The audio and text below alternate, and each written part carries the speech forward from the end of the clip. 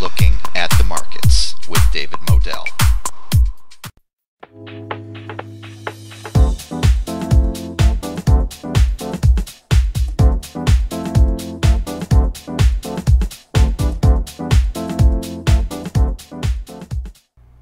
Hello and welcome to Looking at the Markets with David Moadel. I've got an amazing guest, very informative, and a repeat guest, uh, Mr. Jordan Goodman from MoneyAnswers.com. You're going to want to go there. Not right now, watch this video first and then go directly there. I'll put a link in the description below this video. Uh, but we're going to talk about the markets, what's going on today. Uh, this is the Teflon market, as I like to call it. Uh, just keeps on marching upwards, but is that justified? Is it reasonable? And how can you make money in this type of market? It's it's not so easy at the tail end, possibly, of a bull market. So, uh, Mr. Jordan Goodman, welcome back to Looking at the Markets, sir.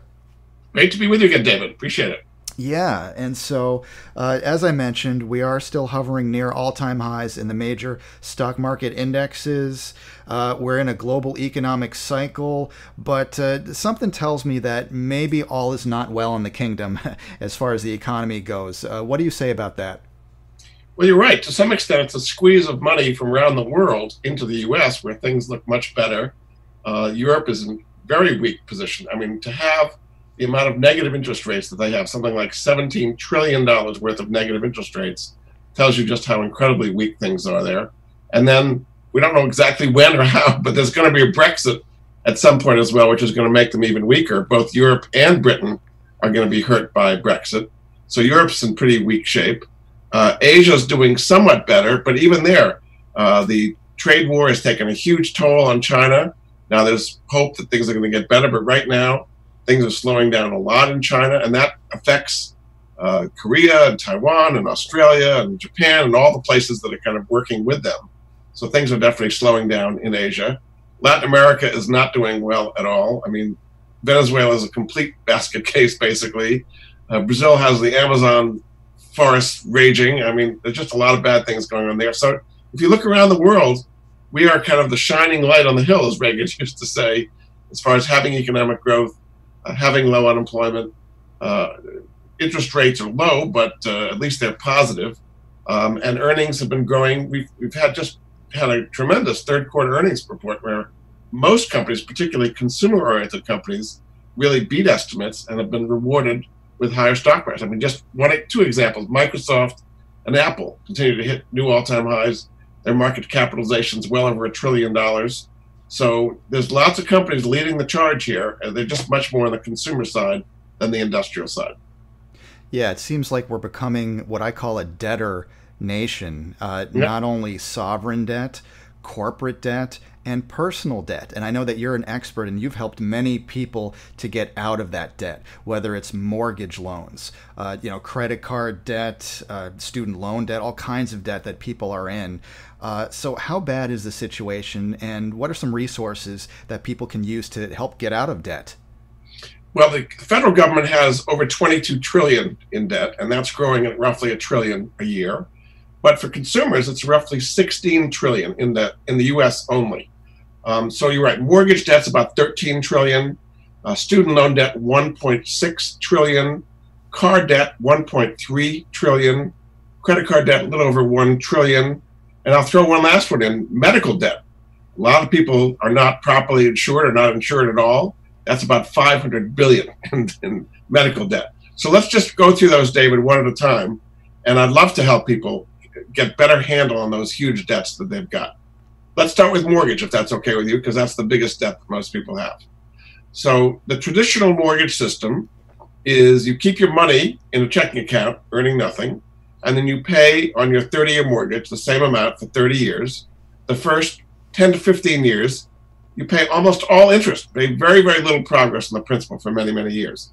and eventually you pay the principal off.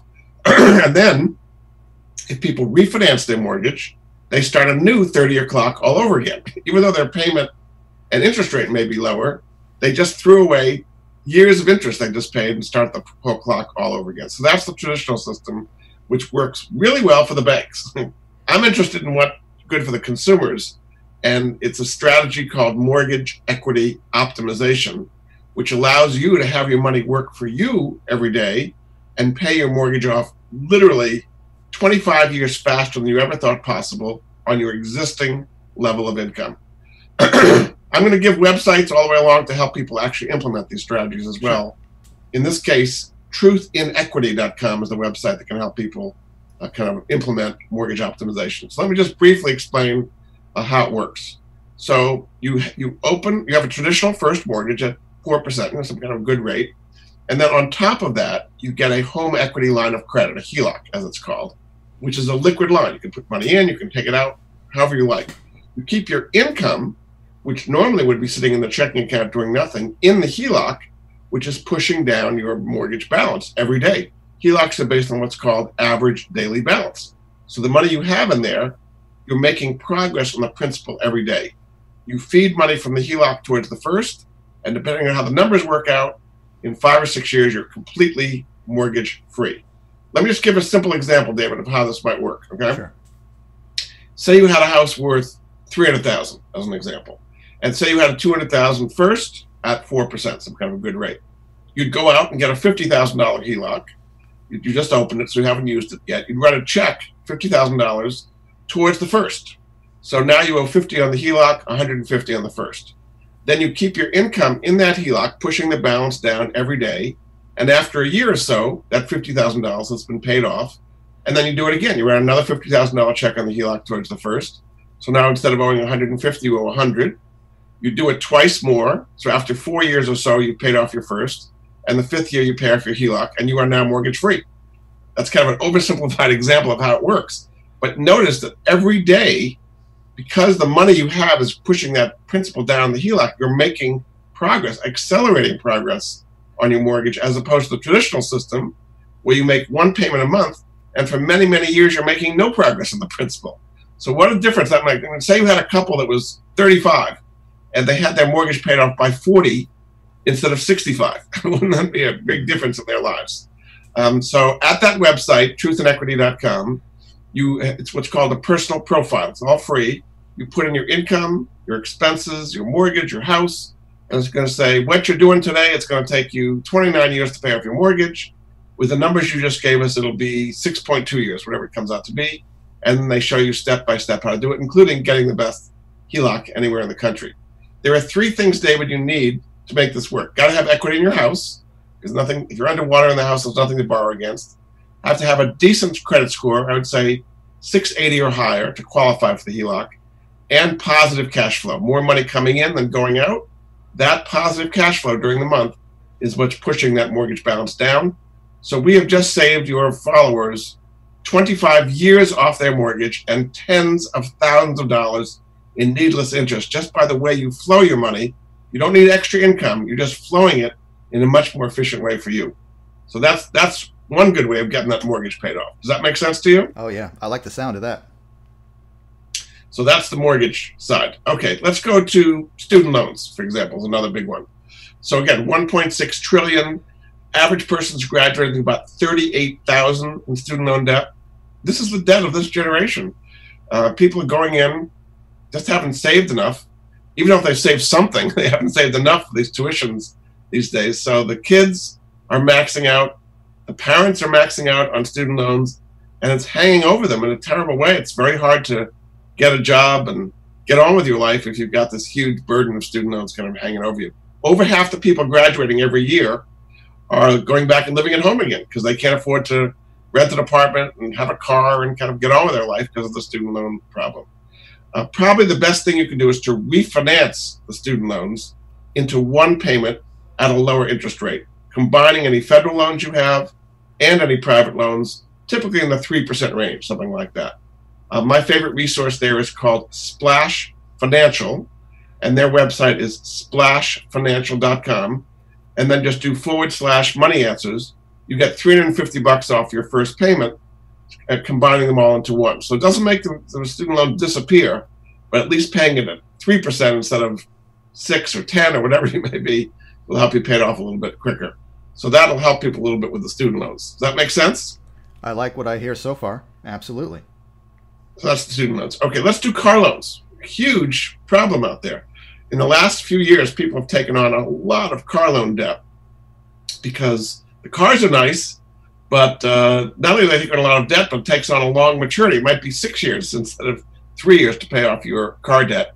And people are running into trouble because they can't afford these loans. And so they're getting a lot of repossessions and uh, delinquencies all over the place. So the best thing to do is you can refinance your car loan to a much lower interest rate and change the maturity so the payment is more affordable to you. There's a free website called MyLoanGen, G-E-N, myloangen.com, and you put in everything about your existing car loan, uh, monthly payment, how much more you have left, uh, how many more months, value of the car, and it's going to say, okay, based on that, you, it gives you a little dial, and you can change whether you want to change the maturity or change the interest rate to get it to its makes makes it more affordable for you. And then when you get a payment you like, you hit submit. A bunch of credit unions around the country compete for your business. You can refinance your car loan in a very short time at myloangen.com. Because what you do not want, David, is the repo man to come in the middle of the night and take your car away because you didn't make a payment. That is not a fun experience. Oh, that's for sure. wow. Okay. So so far, uh, we have a number of websites that I want people to visit. Uh, truthinequity.com, and these will all be in the description below this video, so you don't have to remember every single one. All right. Uh, you've got myloangen, G-E-N dot com.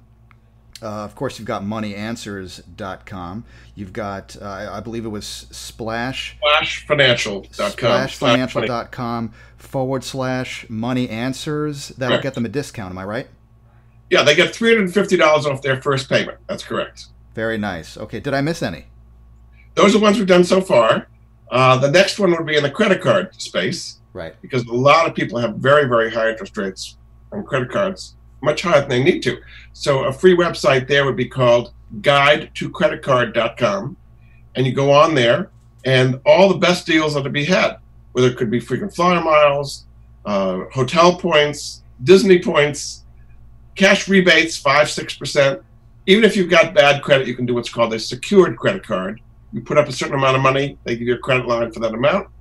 You pay it responsibly, you graduate to an unsecured card what most people do, David, is they rely on whatever shows up in the mail. And those are the worst deals. Highest annual fees, highest interest rates, shortest grace periods. Just spend a little bit of time with the website I just gave you, and now you can find the best deals anywhere in the country that are best for you. And don't apply to a ton of cards. One or two at, um, at a time is the, the most. Because if you start applying to a lot of cards, that's going to hurt your credit score. It's going to be what's called a hard inquiry on your credit report. So That'll help with the credit cards. And as we enter the holiday season, it's really easy to get in over your head in, credit card debt. Gotcha. And that URL is guide to creditcards.com. Am I right? Singular. Guide to credit card singular.com. Guide, guide to creditcard.com. So many resources. Wow. Okay. And uh, everybody has practically almost everybody has at least one of those types of debt or they're going to be looking at that type of debt within their within probably the next few years or they know right. somebody with that type of debt. And then there's medical debt. We talked about medical debt as well.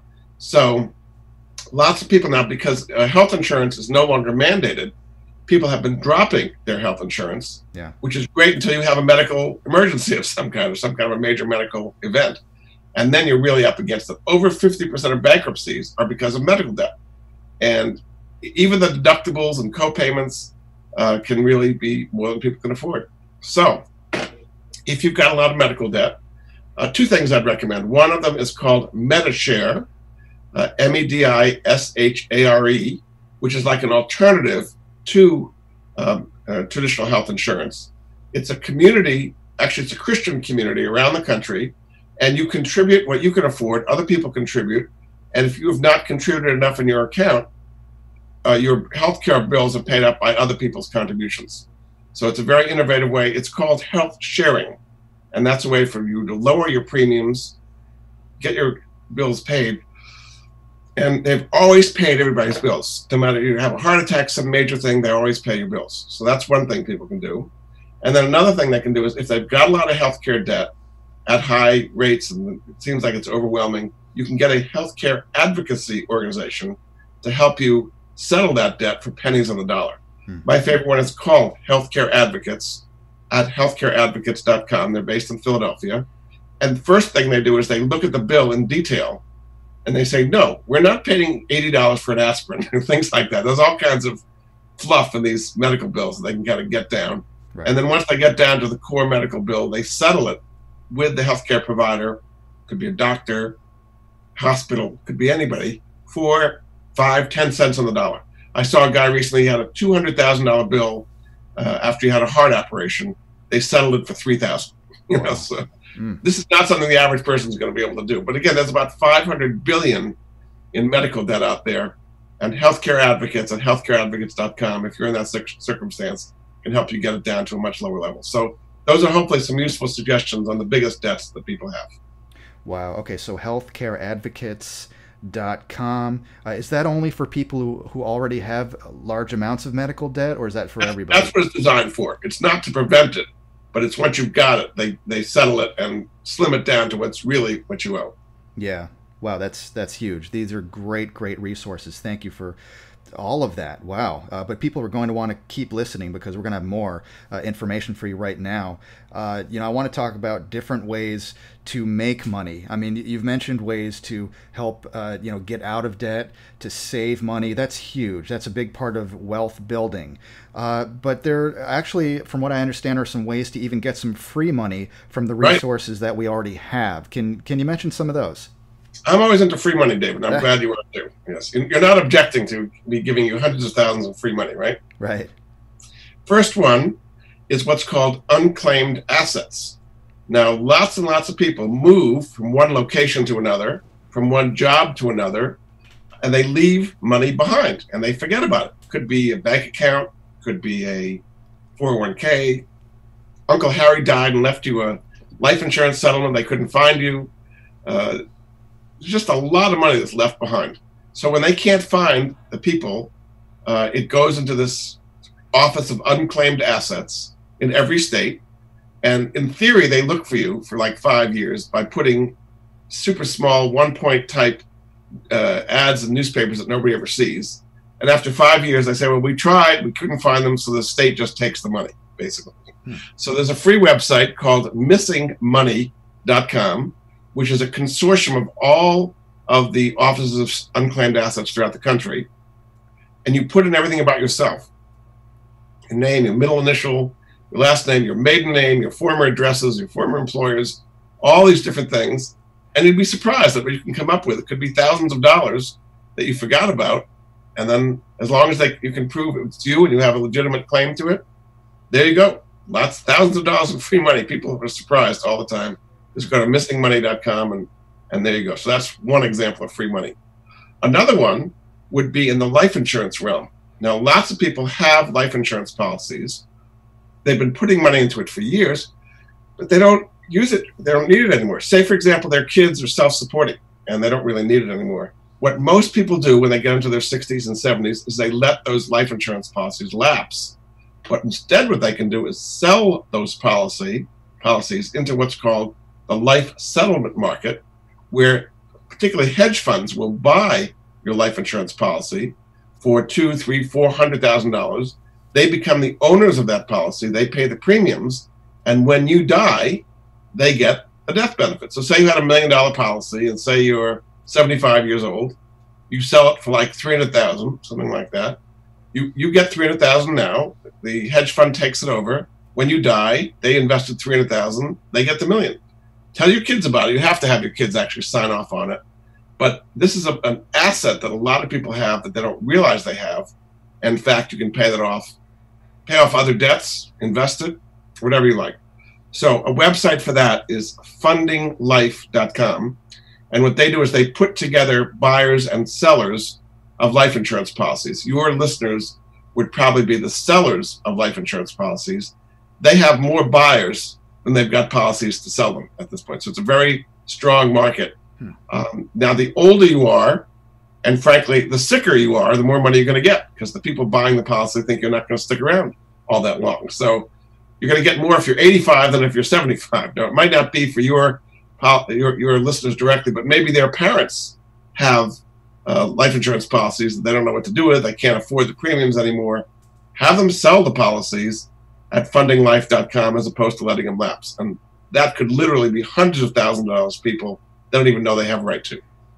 Wow, that it's like picking money up off the ground for a lot of people. A lot of It money, is. actually, potentially. Uh, so that's missingmoney.com and fundinglife.com. So many resources in here. My goodness. I hope people avail themselves uh, of Sure. all these websites uh, that are. This is just great. It's like a gold mine of information. This video. Uh, going to keep going. There, there's more. Uh, you know, wanted to. I love talking about gold and silver. Um, you know, are, are there opportunities? I, I've got gold right now uh, at around fifteen hundred dollars per ounce. Silver uh, pierced the uh, eighteen dollar level per ounce. Uh, are there opportunities in the precious metals sector right now? I think so. Uh, I mean, it's unusual when the stock market's doing so well that gold and silver are doing well too. But so far this year, they've gold and silver had a really quite a good move here. Yeah. The central banks around the world have been buying a huge amount of gold because they're worried about the depreciation of currencies. You've got like this race to the bottom, everybody trying to depreciate their currency. Yeah. Well, what's hold, the dollar's been go- up, but gold has been up as well. Also, when you have low and falling interest rates, that makes gold more attractive because it costs less to hold gold. The carrying costs are in Europe zero, negative actually. Um, and I think all of the hotspots around the world, whether it be the Middle East, uh, North Korea, uh, you know, Syria, uh, Venezuela, there's just lots of kind of dramatic, and all the whole situation with Brexit in Europe just makes people very nervous. They kind of want a safety haven, and so gold kind of plays that role. So yes, I think gold, which has gone from whatever 1200 to 1500 or so, I think it could go certainly up to like 1700 uh, this year and and probably considerably more than that uh, next year.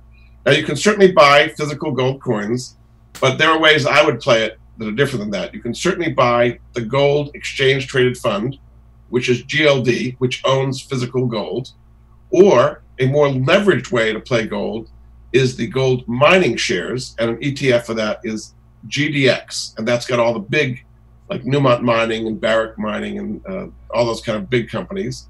Or if you want to be even more speculative, GDXJ is the junior mining companies. A lot of them haven't even found gold yet, but they've got prospects. So when gold goes up, their uh, costs of producing gold do not go up. So it's just like pure profit to their bottom line. Say it costs a particular mining company $1,100 to get an ounce of gold. Well, if gold went from 1300 to 1500 and their production costs remained at 1100 their profit just went up $200 an ounce for doing nothing else. So that's why there's a lot of leverage in the gold mining companies. Uh, so when gold goes up, they go up even more. But when gold goes down, they go down even more. So they're more volatile. But I do think gold is going to be going up. And silver is the same thing. Silver at 18 or so, it's more of an industrial metal. But the differential between gold and silver is very wide. Typically, silver is a much closer ratio to gold. So again, you could play uh, SLV, which is the exchange traded fund owning physical silver, or Wheaton Precious Metals. WPM is the symbol on that one, which is what's called a royalty company. They don't actually do the digging themselves. They lend money to a whole bunch of silver mines, and as production comes on, they get a royalty from that. So it's a kind of a cleaner, simpler way, and they actually have a bit of a dividend, one and a half percent dividend at Wheaton as well. There's, by the way, one of those in the gold area, which is called Franco Nevada. FNV is a symbol on that. They do the same thing with gold mining shares. So those are some of the ways I would play gold and silver. I really like the royalty and streaming model. Uh, that that's a great way to indirectly get into the gold and silver space as an investor uh, because you're not exposed necessarily to a company that uh, you know the individual companies, gold and silver Right. companies, they they might have problems with the workers or with jurisdictions or local laws or whatever. Uh, whereas Franco Nevada, which is FNV, uh, you know Wheaton, uh, which is uh, WPM, I believe uh, you know, though they're investing in the miners uh, Right. and the junior miners. So uh, it, it's direct exposure, but maybe not so direct in terms of the liabilities all the time. So I, I really like those suggestions. Much simpler business. They got hardly any employees because they're basically just investing in all these other miners. They have no mining operations whatsoever. Yeah. It's a leveraged way to play gold and silver as well. So that that would be my. If you want to do it that way, it's more leverage. If you want to got the physical without having actual coins in your home, that would be GLD or SLD. Right. Right, absolutely.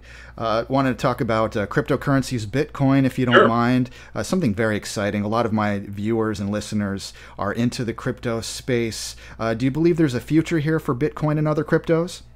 Yes, I do think there's a future. It is volatile, as we've seen. It went from ten dollars to twenty thousand or so, and then down to three thousand, and now eight thousand, and it's been all over the place. But it's becoming more institutionally oriented, and that's when that institutional money comes in. That's when Bitcoin really goes up an awful lot. Um, so yes, I mean, not a huge amount of your portfolio, maybe five percent at most, uh, and don't kind of trade it too actively.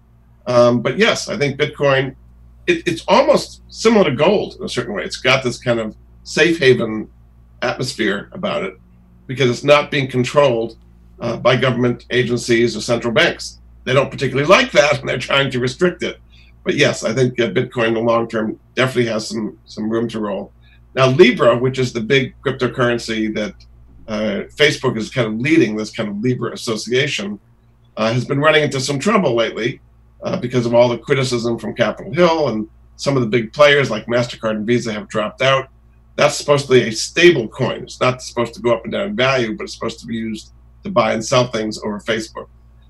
That is going to come eventually uh, using cryptocurrencies in actual transactions. Right now, it's kind of a speculative vehicle, um, and it's very much dependent on supply and demand at any particular time. So, yes, I think they have a future. Keep a relatively small amount and just don't look at it too often because it'll make you seasick. Right. Uh, so small position sizing is always recommended for anything that's volatile, and I believe that cryptocurrencies would probably belong in that category. So I certainly yes. certainly Indeed. agree with that. Uh, and then wanted to talk about places to get high stable yields. Yes. Uh, in today's stock market, uh, whether it's REITs or which is real estate investment trusts, maybe MLPs, master limited partnerships. Yep. Uh, what are your preferred, uh, you know, vehicles for investing in today's stock market? So you know, if you just keep it at the S and P 500, maybe that's a two percent yield, something like that. Treasuries, one and a half percent. CDs, money market funds, one percent or less. You're just not earning anything. So you've got to go out the risk spectrum a little bit. But there's loads of companies that have been among the leaders this year. Not only their stock prices, their dividends, and they've been raising their dividends in many cases. So yes, my first category would be real estate investment trusts, which are institutional uh, forms of liquid real estate. They can specialize in offices or apartment buildings or self storage units or healthcare or different parts of the country. There's lots of different REITs out there. Yield six to 10%, something like that. If you do an equity REIT, it's got more growth potential but a lower yield. If you do a mortgage REIT, it's going to have a higher yield with less growth potential. So, just to give you some examples there, Starwood REIT is in the hotel space. Uh, STWD, they've currently got a yield of about 8%. There's another one called Gladstone REIT, symbol G O O D. Uh, symbol, uh, the yield's about 7% on that one. Um, and if you want a pure yield play, Annaly Trust, symbol NLY, is yielding about 12%. That's a mortgage REIT. Um, so for higher yields with relative stability in the stock prices, I think that's one of the best places to go is REITs. I like those specific uh, ticker symbols. Uh, we're, we're talking about actionable, uh, you know, possibilities here. And of, of course, I am not a licensed or registered investment advisor, and, and you know, neither are you. So we're not telling people what to buy or what not to buy. But these are great things to put on your watch list. And uh, I want to top this off by saying that uh, we've created a special landing page Right. uh, for everybody to, to go ahead and click on as soon as you're done watching this video. It's go.moneyanswers.com forward slash looking at the markets. Hey, that's my show. so, That's uh, and you don't have to write all that down. Just go below this video into into the description section, and you can go ahead and click on that. Uh, or if you just want to go to moneyanswers.com, type it in your browser. That's fine too. You know, I, I'm not trying to get all the credit for all the clicks here. I'm, we're trying to help people here. And so, just to recap, and I'm going to put all these in the description. and let me give, if, if I can, David, let me just give a few more examples on the high yield area. We talked Okay, about REITs, yeah. but let me go back to MLPs, Master Limited Partnerships. Sure. Uh, these are publicly traded vehicles that typically are in the energy space, and they typically own energy infrastructure, things like pipelines, storage facilities, ports, things like that. They get the oil and gas from the fields to the refining facilities mostly. So it's a much more stable business. It's not based on the price of oil and gas. It's based on the price of transporting oil and gas, which is much more stable. So those have some very nice yields. Um, they've done extremely well. Uh, my favorites there would be Enterprise Products Partners, EPD. Currently has a yield of about 6%, something like that. Uh, another one would be um, the Alerian MLP Exchange Traded Fund. The symbol for that is AMLP. That currently yields 9%. Um, so those are two examples of things in the MLP space. Um, and as we're building out new pipelines, the fracking revolution, uh, they benefit. They have to do a lot of capital expenditures to put the pipelines in. But once they've got it, it's like a toll road. You just keep collecting money forever as oil and gas keeps kind of going through there. And it's a way of playing America's energy independence in a high income way. So that would be another MLPs, either through them directly or, as I mentioned, like through the exchange traded funds. Uh, another area for high yields is preferred stocks. Preferred stocks are issued typically at $25 a share. They don't move up and down very much, but they've got some very, very nice yields. You can either do individual preferreds, but I like the funds and ETFs uh, there as well. So one of my favorite ones is called the iShares Preferred and Income Securities Fund. The symbol on that is PFF, uh, currently yielding about 6%. So that's a diversified portfolio of many, many preferreds. And another one would be called the Nuveen Preferred Securities Income Fund, symbol JPS, yielding about 7%. Uh, so again, two diversified ways of playing preferreds, which are somewhat interest sensitive, but it's a way of getting a much higher yield in a diversified way. And I'll just give you one other example in the high yield space, which are called business development companies or BDCs. These are companies that lend money over a relatively short period of time, one year to 18 months, to medium and smaller sized companies that have trouble getting loans from traditional banks. And as a result of that, they pay higher yields. Um, and the stocks tend to be relatively stable with very, very nice yields. Uh, there's about 60 BDCs out there. I'll just give you two of my favorites. Mm-hmm. One of them is called Ares Capital, A R E S Capital. A symbol for that, ARCC.